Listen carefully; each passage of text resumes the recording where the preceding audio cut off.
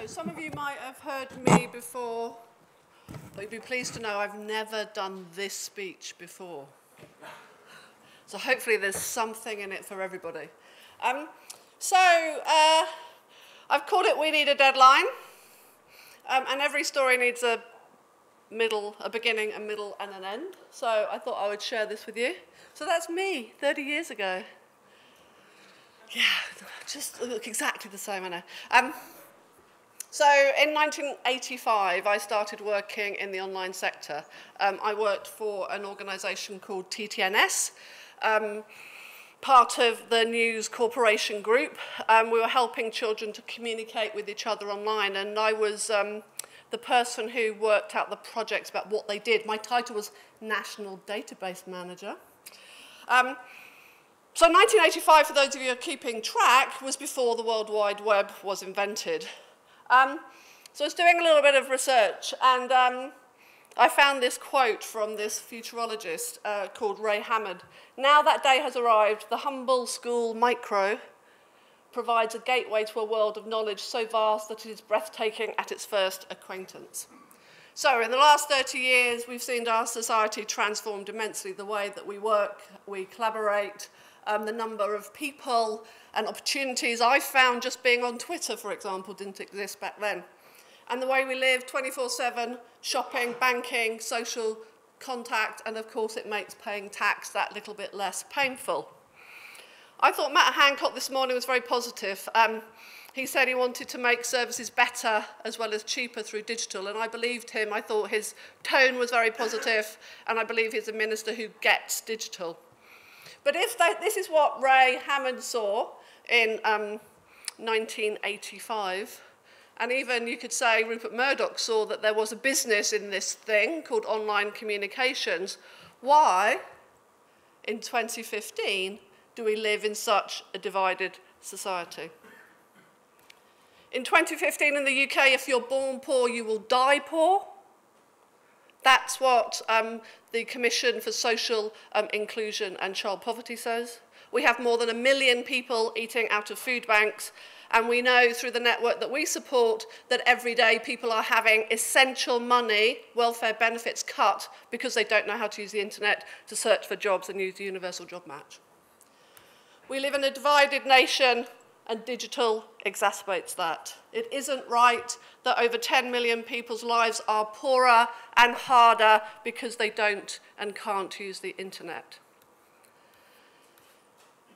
I've met people um, in UK Online Centres who have told me that they are alive because that local community organisation has helped them to get those first steps on a basic digital skills journey.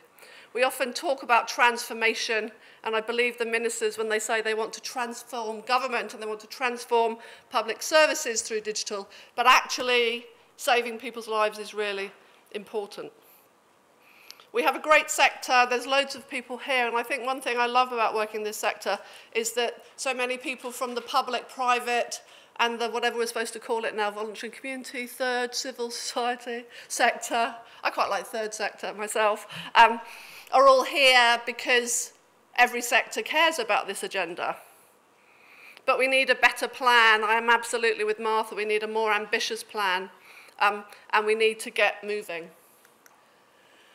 So, since it's Nostalgia Day, um, those two boys up in the little... That, some of these boys are my sons. In fact, four of them are, although there are only two of them, if you get my meaning. Um, so, they're Max and Theo on the left-hand side. Um, the older one, Max, is absolutely football mad. And when he was little, we had the uh, great pleasure of spending a lot of very cold Sunday afternoons watching him play football. If any of you have watched small children play football, then you'll completely understand the metaphor I'm about to give you. They basically kick a ball and run. There's no space, there's no tactics, there's no strategy. It's just, look, there's a ball, let's run after it. And I'm sad to say that I think that's what this sector's like, you know. We all think there's a good idea and off we go. Um, Rachel started well this morning suggesting that we should eradicate digital exclusion, the gender imbalance in the tech sector, and poor digital skills. just for a few things, um, by 2025, by the time of the 20th National Digital Conference. But I want to just take one of those, um, digital exclusion, as you would expect me to, um, and to set ourselves a more ambitious um, deadline of 2020 and to make sure that by 2020 we don't live in a digitally divided nation. When I'm preparing this speech, I assume you've, almost all of you have heard me speak before, but just in case some of you haven't, Tinder Foundation, we're great, we're a social enterprise and staff-owned mutual We work with 5,000 um, hyper-local community organisations, public libraries um, and community centres, most of them. And together, in the last five years, we've helped over 1.5 million people to use the internet. We also work with amazing national partners, and again, most of you, lots of you are in the room here today. And the big things we do, the Learn My Way learning platform and online courses, Get Online Week, which is in October. And if one thing that you do is be a partner and Get Online Week. And we also give out around £3 million worth of grant funding each year for digital inclusion projects. So, together, let's close the digital divide by 2020. And I have four ideas. It's a bit of a theme, isn't it? So, stop looking for the silver bullet. I'm not saying we know everything, but we know a lot. Yeah? So we know what works. We know that community-based support and help that's personalised with great leadership and guidance from organisations like mine, but from many others, it works. Simply more investment of the things that we know works will help more people. And as Martha said earlier today, it's only a fool who can't do the maths that for every pound we invest in getting people basic digital skills, we are going to reap hundreds of pounds back to the British economy, and we'll do it quickly as well. We don't have to wait um, for a lot of time. So just more investment. So I think employers could do more. Um, thank you to Lloyds Banking Group, Vodafone, TalkTalk, Talk, BT, and others who work closely with us and our partners um, around digital inclusion. That's really, really valuable. But every employer employs people. We're looking at um, going, at, the proposal is going to our board next week, and I hope that we will become a living wage um, accredited employer. Because obviously we are anti-inequality, we want to make sure that we've got that statement on our website to say every single person who works for Tinder Foundation receives the living wage and every contractor that works for a contract from Tinder Foundation gets a living wage. So how about a digital basic employer accreditation or an investors in digital people?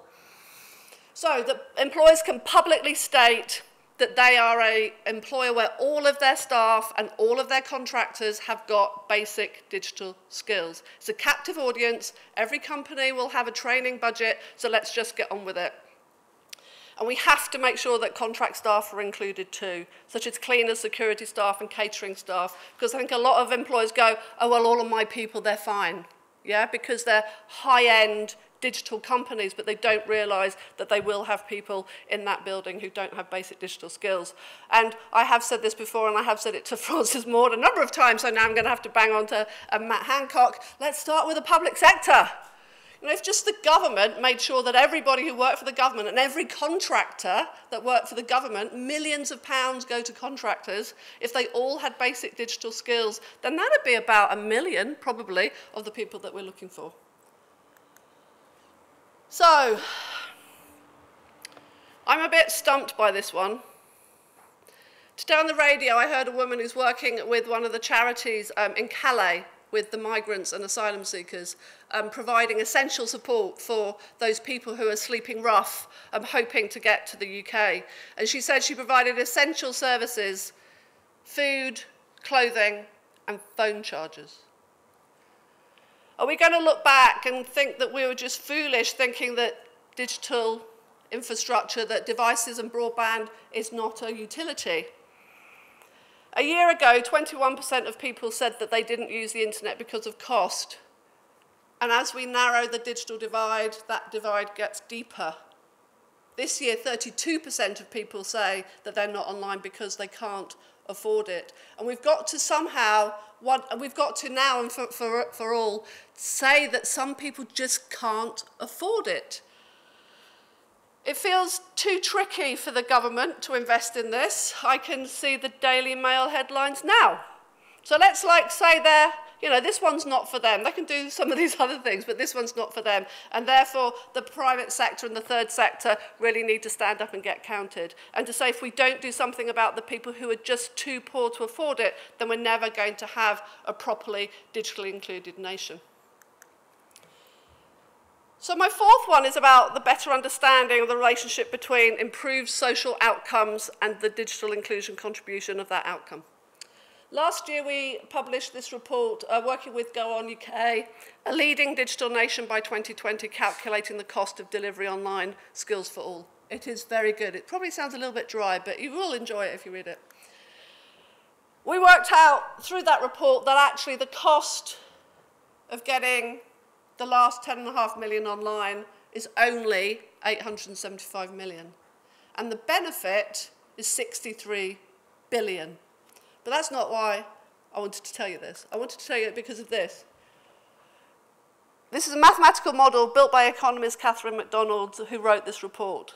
And one number she came up with isn't about the cost of getting everybody online, but it's how many people are going to be left behind if we do nothing other than all of the amazing stuff we're doing now and all of the investment the government is currently making. 6.2 million people. It's not good enough.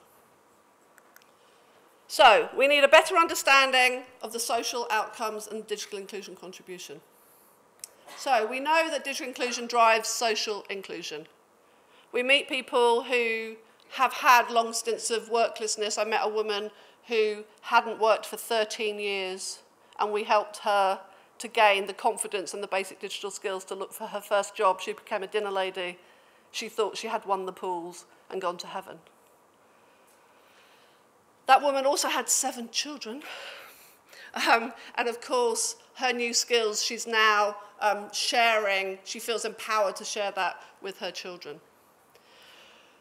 But we need to have more evidence of how we can focus on those social outcomes first and then recognize the role that digital has to play.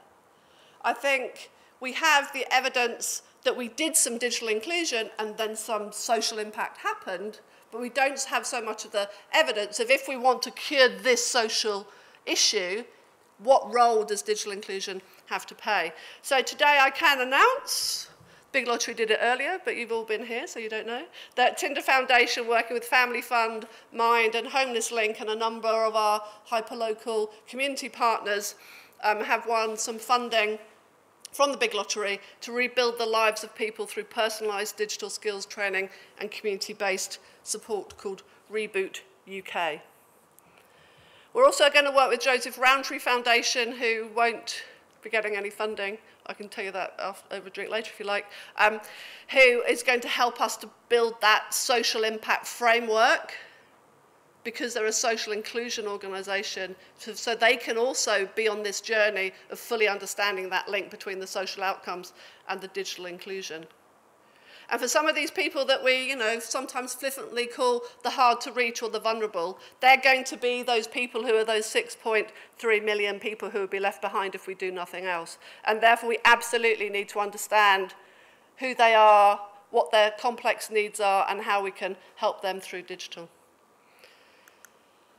So, we need to be more ambitious. Sometimes we're just too polite and too patient. I think we should get angry and we should get organized. And as I said, I think we need a deadline. I'm not here, you know, preaching from my pulpit saying, you know, the Helen Milner show has all the answers and wants to get it all sorted. What I'm saying is, in my wildest dreams, the Tinder Foundation could help two or three million people between now and 2020, and there's 10.5 million people need help. So, and if we don't tackle some of these things that we really don't know the answers to, then actually we're going to fail. And I don't want us to be here in 2020 talking about how we failed.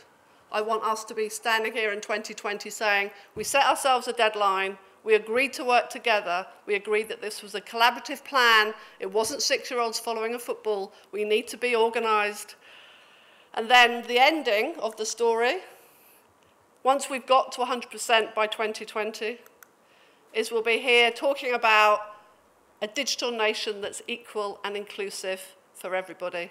So please do tweet me if you want to be involved. Thank you very much.